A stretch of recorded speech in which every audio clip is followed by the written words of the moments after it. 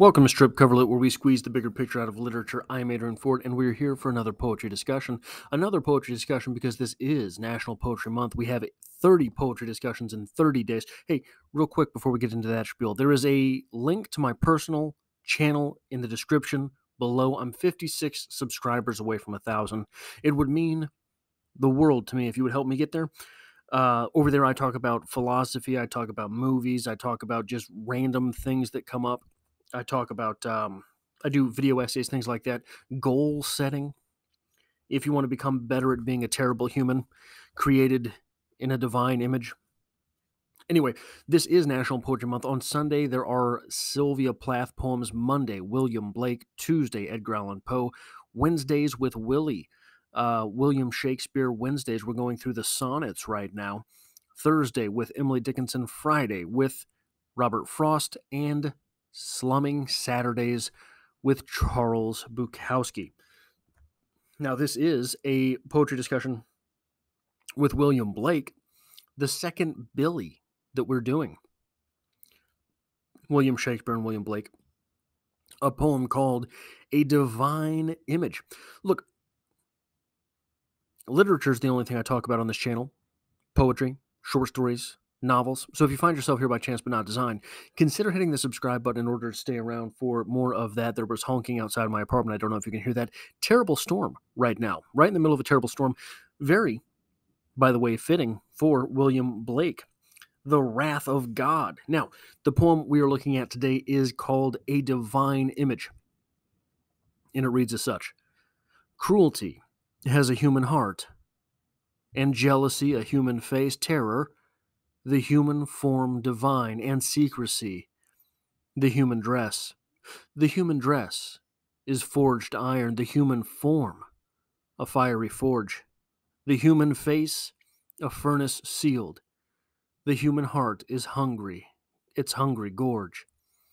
Just one more time, because it's so brief. Cruelty has a human heart, and jealousy a human face terror the human form design, divine, and secrecy the human dress. The human dress is forged iron, the human form a fiery forge, the human face a furnace sealed, the human heart its hungry gorge. Makes you feel good, doesn't it? William Blake, not exactly Les Brown, but maybe he was on his way. Now, I want to start this discussion with what is probably a more modern or contemporary talking point the talking point of irony, something that we have become in the last 100 years. It's 2023, yeah, about 100 years. Very, very um, preoccupied with in the place of literature. And I, you know, I'm a fan of irony and I am a fan of employing irony whenever it might benefit an optional read of something. Does irony, the optionality of irony, add any dimension to a piece? Now, here's the thing Was this written by William Blake employing irony, saying a divine image, an image of God, and giving such terrible talking points. No, that was not employed with irony. This was absolutely meant as it is said by William Blake. Why? Because man was created in the image of God. That is given to us in the holy texts. Because that is given to us in the holy texts, we have to interpret that as people. If we're following that text, if we're reading that text. And even if we're not, we have to we wouldn't you want to understand why someone would employ something like that in their religious text? Why someone would mention something like man being created in the image of God? Because what happens very quickly here, we go from a divine image, a divine image, the image of divinity, purity, wholeness, divinity, perfection, to eternity.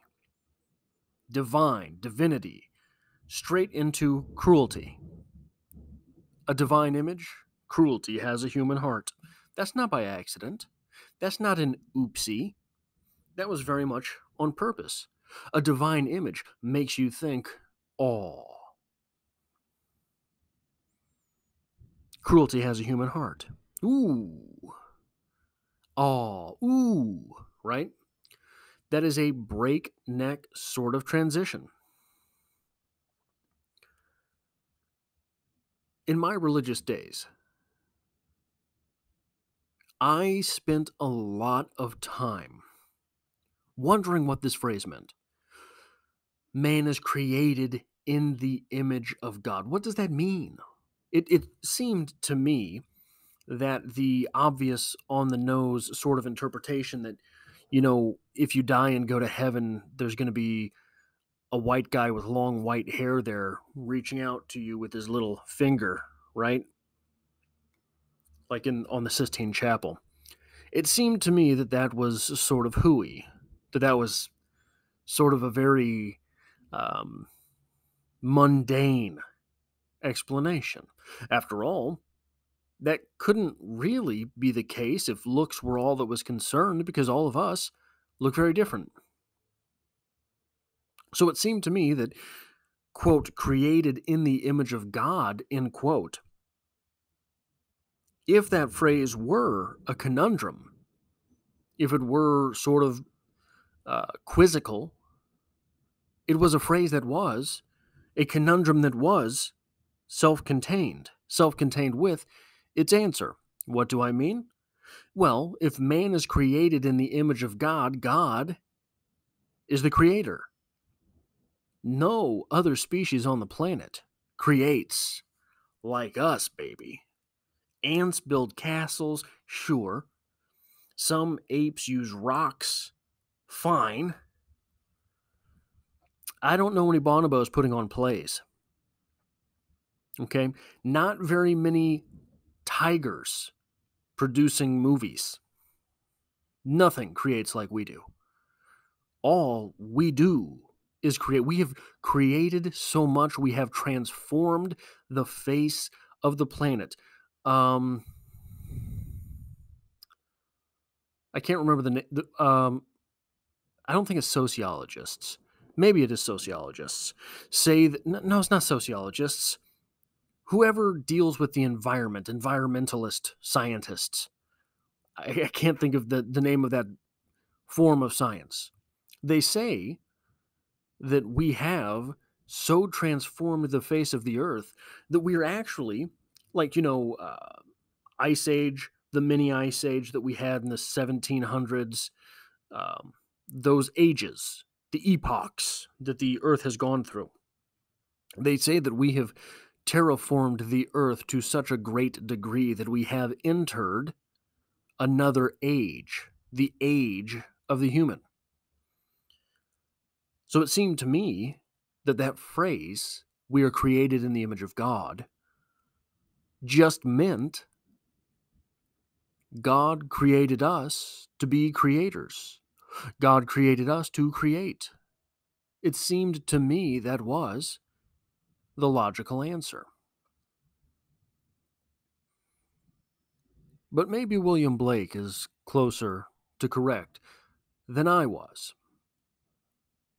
Maybe William Blake was onto something.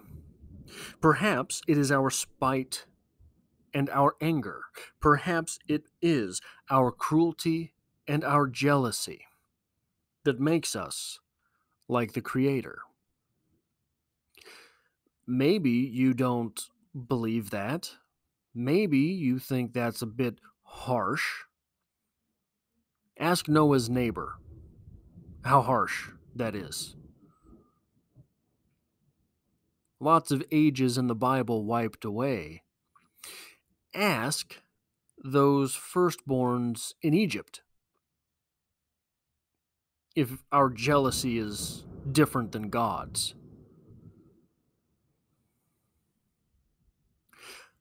I think maybe it is William Blake who is closer to right than was I, the young philosopher that I thought I was.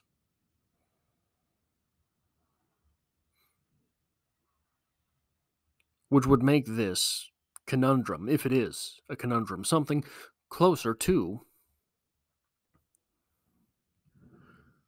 something closer to cyclical. We are creators like God was and because of our abilities to create, because of our cognitive functions, we are able to feel the jealousy. We're able to exert the cruelty. Maybe it's just part and parcel.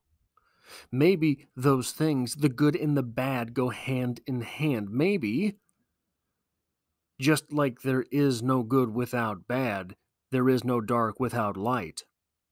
The darker something can be, the brighter the light can be as well, which would allow this creative type function to come hand in hand with the cruelty and jealousy of which we are capable. That is all I have for this poetry discussion on William Blake, A Divine Image. If you want to help me out with what I'm doing on the channel, uh, hitting the like button really does the trick. Uh, it tells YouTube to share this video with other poetry lovers. And lots of poetry discussions to be had. If you have any requests, feel free to leave them in the uh, comment section below. I've got a lot of poetry discussions I still have to do this year. Every Monday, we have poetry discussions on this channel.